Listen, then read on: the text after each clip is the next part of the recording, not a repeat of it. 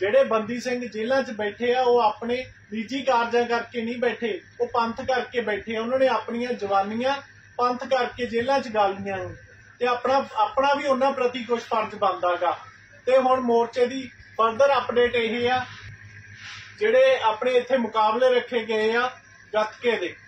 ਤੇ ਉਸ ਚ ਵੱਖ-ਵੱਖ ਟੀਮਾਂ ਪਹੁੰਚ ਚੁੱਕੀਆਂ। ਸਾ ਵਾਹਿਗੁਰੂ ਜੀ ਕੀ ਫਤਿਹ।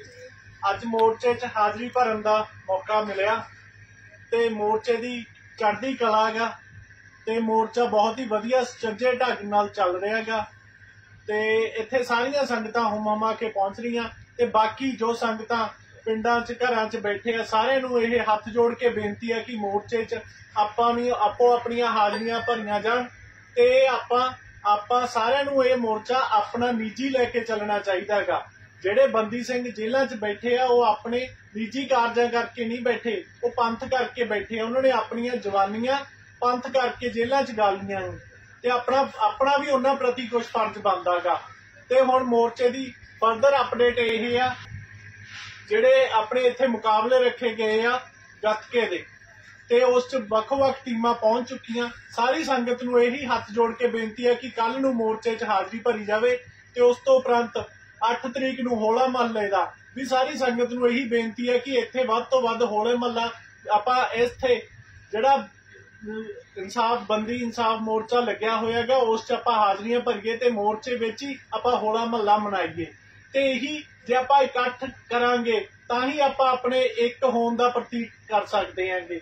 ਤੇ ਆਪਾਂ ਸਾਰਿਆਂ ਨੂੰ ਇਕੱਠੇ ਹੋਣਾ ਵੀ ਚਾਹੀਦਾਗਾ ਇਹ ਪੰਥਕ ਕਾਰਜ ਆ। ਇਹ ਆਪਾਂ ਨੂੰ, ਇਹ ਆਪਾਂ ਨੂੰ ਸਾਰਿਆਂ ਨੂੰ ਇਕੱਠਿਆਂ ਹੋ ਕੇ ਪੂਰਾ ਕਰਨਾ ਪੈਣਾਗਾ। ਤੇ ਉਸ ਤੋਂ ਬਾਅਦ ਆਉਣ ਵਾਲੀ 2 ਤਰੀਕ ਨੂੰ 2 ਅਪ੍ਰੈਲ ਨੂੰ ਬਾਈ ਦੀਪ ਦਾ ਜਨਮ ਦਿਨ ਆ। ਉਸ ਦਾ ਵੀ ਖੰਡ ਜਿਹੜਾ ਆਪਾਂ ਇੱਥੇ ਸੁਖਮਨੀ ਸਾਹਿਬ ਦਾ ਪਾਠ ਇੱਥੇ ਹੀ 2 ਤਰੀਕ ਨੂੰ ਆਪਾਂ ਉਹ ਵੀ ਸਮਾਗਮ ਇੱਥੇ ਹੀ ਕਰਾਂਗੇ। ਹੁਣ ਆਪਣਾ ਸਾਰਿਆਂ ਦਾ, ਪੰਥ ਦਾ, ਪੰਜਾਬ ਦਾ ਇਹ ਫਰਜ਼ ਬਣਦਾ ਵੀ ਆਪਾਂ ਜੋ ਵੀ ਕਾਰਜ ਕਿਤੇ ਕਰਨੇ ਆ, ਉਹ ਕਾਰਜ ਆਪਾਂ ਪੰਜਾਬ ਦੀਆਂ ਵੱਖੋ-ਵੱਖ ਜਗ੍ਹਾ ਛੱਡ ਕੇ ਇਸ ਮੋਰਚੇ ਨੂੰ ਅਹਿਮੀਅਤ ਦਈਏ। ਜਿਹੜੇ ਵੀ ਕਿਤੇ ਪੰਜਾਬ 'ਚ ਸਾਰੀਆਂ ਸੰਗਤਾਂ ਕਾਰਜ ਕਰਦੀਆਂ, ਉਹ ਇਸ ਮੋਰਚੇ 'ਚ ਹੀ ਆਪਣੇ ਕਾਰਜ ਸਾਰੇ ਸੰਪੂਰਨ ਕਰਨ। ਤੇ ਉਹਨਾਂ ਦੀ ਜਗ੍ਹਾ ਵੀ ਆਪਾਂ ਇੱਥੇ ਹੀ ਰੱਖੀਏ ਤੇ ਆਪਾਂ ਜਿਹੜਾ ਇਕੱਠ ਆ, ਇਕੱਠ ਦੇ ਰੂਪ 'ਚ ਆਪਣੀ ਏਕਤਾ ਬਣਾ ਕੇ ਰੱਖੀਏ। ਬਾਈ ਦੀਪ ਵੀ ਜਿਵੇਂ ਕਹਿੰਦਾ ਹੁੰਦਾ ਸੀ, ਆਪਾਂ ਸਾਰਿਆਂ ਨੂੰ ਆਪਣੇ ਪੰਥਕ ਮਸਲਿਆਂ ਵਾਸਤੇ, ਪੰਜਾਬ ਦੇ ਮਸਲਿਆਂ ਵਾਸਤੇ ਇਕੱਠਿਆਂ ਹੋਣਾ ਪਊਗਾ। ਤੇ ਸਭ ਤੋਂ ਜ਼ਰੂਰੀ ਚੀਜ਼ ਆ ਇਹ, ਆਪਣਾ ਇਕੱਠਿਆਂ ਹੋਣਾ।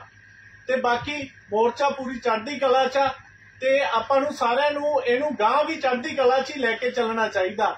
ਜਿਹੜਾ ਹੁਣ ਆਪਾਂ ਸਰਕਾਰਾਂ ਆਪਣਾ ਇਮਤਿਹਾਨ ਲੈ ਰਹੀਆਂ, ਆਪਣਾ ਸਬਰ ਦਾ ਇਮਤਿਹਾਨ ਲੈ ਰਹੀਆਂ, ਆਪਾਂ ਨੂੰ ਇਸ ਜਿਹੜਾ ਇਮਤਿਹਾਨ ਸਰਕਾਰਾਂ ਲੈਣਾ ਚਾਹੁੰਦੀਆਂ, ਆਪਾਂ ਨੂੰ ਉਸ ਤੋਂ ਇਕੱਠਿਆਂ ਹੋ ਕੇ ਪਾਸ ਹੋਣਾ ਪਊਗਾ।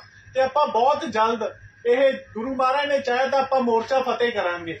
ਵਾਹਿਗੁਰੂ ਜੀ ਕਾ ਖਾਲਸਾ, ਵਾਹਿਗੁਰੂ ਜੀ ਕੀ ਫਤਿਹ।